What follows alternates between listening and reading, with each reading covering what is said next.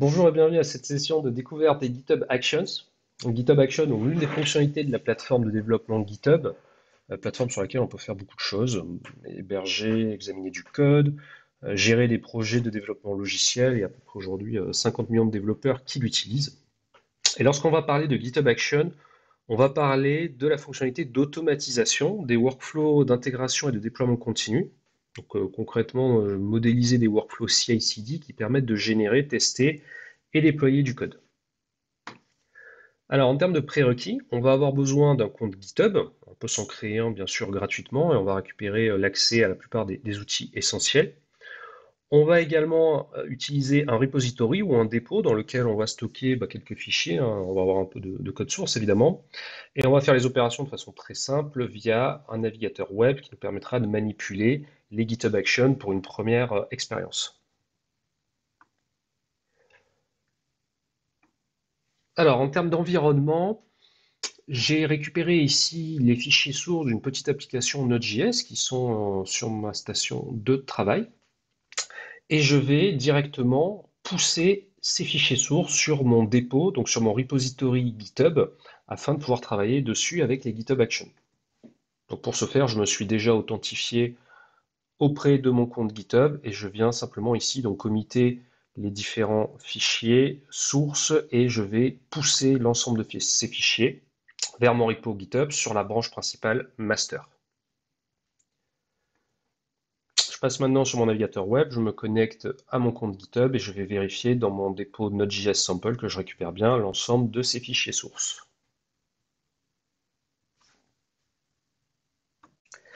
Tout est OK côté GitHub. Alors avant de passer à la configuration des GitHub Actions, une petite minute de théorie pour bien comprendre ce qu'on va faire. Pour travailler avec les GitHub Actions, on va devoir modéliser un fichier de workflow. Donc le workflow, c'est l'ensemble des étapes d'automatisation de notre développement logiciel. Donc lorsqu'on va souhaiter par exemple builder, tester, impacter ou publier du code. Et à l'intérieur de ce fichier de workflow, on va voir dans quelques instants comment le créer au sein du dépôt, on va avoir à coder plusieurs sections bien précises. La première partie, ça va être une section événementielle qui va permettre de définir sur quel type d'événement je souhaite déclencher mes étapes d'automatisation. Par exemple, si je suis développeur, que j'ai modifié le code source au sein de plusieurs fichiers, une fois que je vais avoir commité ces fichiers, je vais pouvoir euh, faire déclencher ce workflow. Ensuite, au sein de ce fichier de workflow, on va retrouver une section qui va correspondre à un travail ou un job. Cette section job, elle va permettre d'indiquer plusieurs propriétés, et notamment par exemple le type de plateforme sur lequel on souhaite dérouler cette automatisation.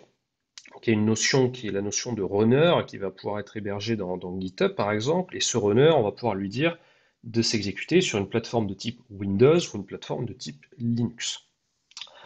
Une fois qu'on aura défini ces propriétés-là, on va retrouver ensuite une section qui s'appelle Steps, et à l'intérieur de cette section Steps, on va à proprement parler définir les actions GitHub qui vont réaliser les tâches d'automatisation. Donc ici, sur l'exemple à gauche, on voit une première action GitHub qui s'appelle Actions Checkout, qui permet de venir extraire le contenu du dépôt pour le mettre à disposition sur le runner pour les prochaines actions d'automatisation.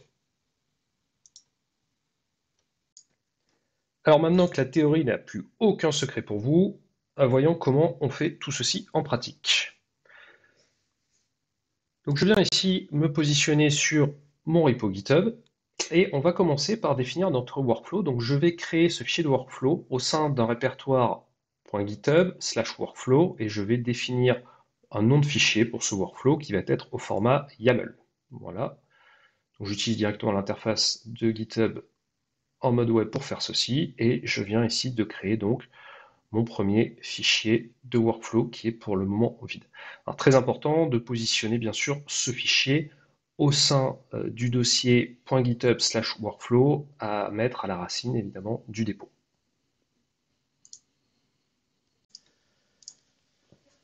Voilà, maintenant je vais venir éditer mon fichier de workflow. Alors, je peux partir d'une page blanche et me servir de la barre de recherche des actions dans la marketplace qui vont m'indiquer, donc par exemple, je cherche l'action Node.js, ils vont m'indiquer directement la syntaxe à coder suivant la version que j'utilise.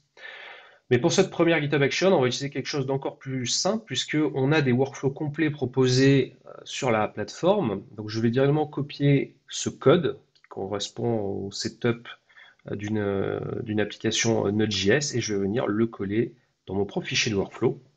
Et à partir de là, je vais pouvoir directement le personnaliser. Donc déjà, on va lui donner un nom un peu plus sympa. On va appeler ça First GitHub Action Workflow, par exemple. Je vais ensuite pouvoir tuner la partie événementielle, donc à partir de quel moment je souhaite déclencher ce workflow? On va faire simple, on va déclencher le workflow dès qu'on va être euh, sur euh, un événement de type push, donc dès que je vais euh, concrètement committer la modification d'un fichier. Au niveau de la section job, donc si j'ai un job ID qui s'appelle build, je vais donner un nom à ce job par l'intermédiaire de la propriété name. Donc ici c'est intéressant puisque ce nom apparaîtra euh, sur euh, la partie historique quand on ira voir euh, l'exécution du workflow. Je vais indiquer que ça s'exécute sur une plateforme type Ubuntu. Et au niveau des différentes versions de Node.js, on va faire simple, on va tester ça uniquement sur les versions 14. Je peux maintenant rentrer dans la section Steps. Et au niveau des actions, je vais pouvoir également donner des noms, donc des, avec des libellés qui apparaîtront également au moment de l'exécution et dans l'historique pour pouvoir mieux suivre les actions. Donc la première action de checkout, je vais l'appeler tout simplement git checkout. Je vais ensuite utiliser une action pré-intégrée euh, qui va me permettre de setuper l'environnement de Node. Et enfin, dans les trois dernières euh, actions, on va venir utiliser des commandes npm. Donc c'est pour ça qu'on utilise l'action run qui me permet directement de lancer ces commandes sur la plateforme, donc en l'occurrence ici sur Ubuntu. Donc on va bien régler l'indentation.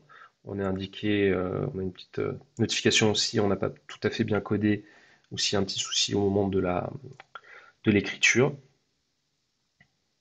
Alors je vais utiliser une étape qui s'appelle, ici je vais utiliser npm install, et pour le build, on va utiliser npm run build avec le commutateur ci présent. Et enfin, dernière partie, si j'ai des tests également qui sont euh, modélisés, je peux directement également lancer la commande npm test. Donc j'appelle cette étape test, c'est ce qui apparaîtra juste après lorsqu'on va exécuter cette action. Voilà, run npm test. Donc là, j'ai mon workflow qui est défini. Je vais committer, donc je valide ce fichier. Et le fait de valider ce fichier, comme j'ai un événement de type onPush, je vais avoir comme action, bah, l'exécution immédiate de ce workflow. Donc on voit ici le job first build job que l'on a nommé. Et si je clique directement à l'intérieur de ce job, on va voir ici sur la, mire d'exécution l'ensemble des différentes étapes que j'ai labellisées avec une convention un petit peu plus euh, euh, lisible bah, à des fins de, de troubleshooting éventuellement. C'est toujours un petit peu plus simple quand il faut analyser un, workflow et donc je vais avoir l'ensemble de mes GitHub Actions qui vont se dérouler. je peux contrôler, vérifier la sortie directement qui est faite sur chacune de ces étapes.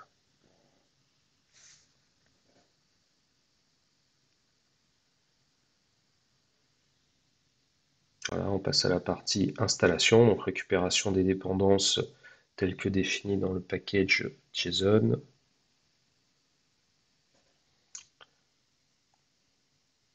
la build, le test et on finit. Voilà, notre première GitHub Action vient de se terminer. Et donc, vous avez vu comment on peut très rapidement démarrer et créer une première GitHub Action. Merci d'avoir suivi cette vidéo et à bientôt pour de nouvelles sessions.